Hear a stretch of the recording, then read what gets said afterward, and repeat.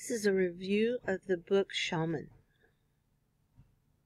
about caveman. There's the writer of the book.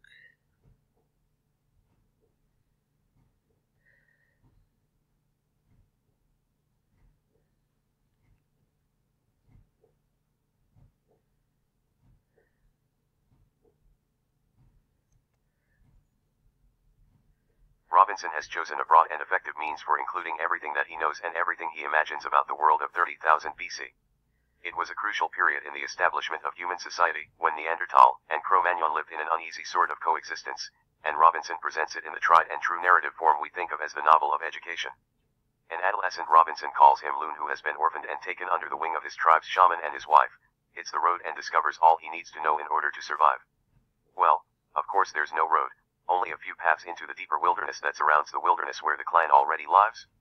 Loon sets out on one of these, into the greater forest on an initiation resembling an aboriginal walkabout. These people think of it as a wander naked, weaponless, and without means for making fire, for a good number of days.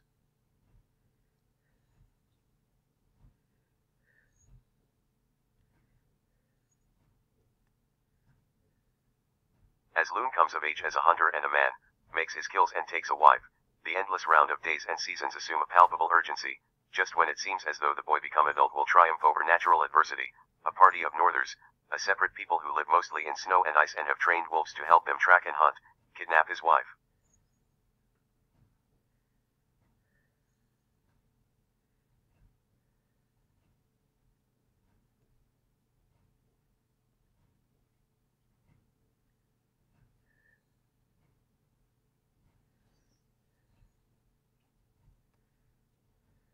The perilous trek to find and reclaim Loon's wife makes up only part of this gorgeous book that like the best of its kind gives you a feel for a life we might dream about but will never otherwise know.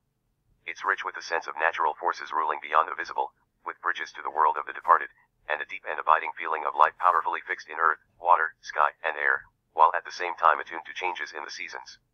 It's a connection that these days we no longer feel much of but Robinson brings it vividly alive, as when on the verge of spring the ice of winter begins to melt, so that upstream and downstream the river was groaning, crying out for release, for the chance to run free and see the sun again. Big jagged plates were rising out of the shattered patches of river ice, as if something underneath was pushing to be free. The sight of this pushes Thorn the shaman to push Loon in turn to say the appropriate poem in in which knowledge of the changing of the seasons is transmitted from year to year and beyond. Great Salt Sea Deep Trail of the Dead, Loon recites as the river unlocks before his and our eyes. We burn holly for you to break the ice. As you can hear, Robinson keeps stylization of the language to a minimum, with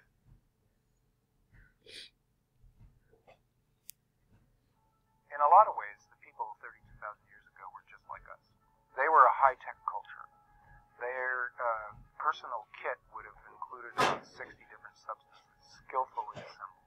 And the Iceman had a fanny pack, and in the fanny pack were all of the elements of a Swiss Army knife, disassembled and in their constituent parts, all except for the corkscrew.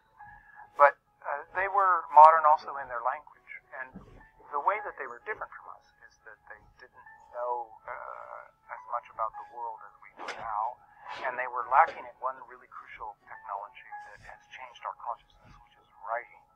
And that was something I had to come to terms with. This was an oral culture. They didn't have any text to read or to uh, study.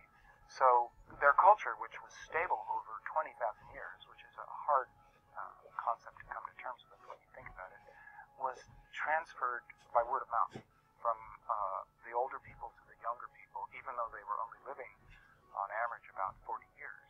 So this was a, a huge difference that I, I had to try to express in the book, and, and it's really something that the book is about, that difference. So you have to imagine them being just like us. Genetically, they're just like us, except they didn't have lactose tolerance. And other than that, their DNA is exactly like ours. But they didn't have writing, so they thought differently. They, they imagined the world differently.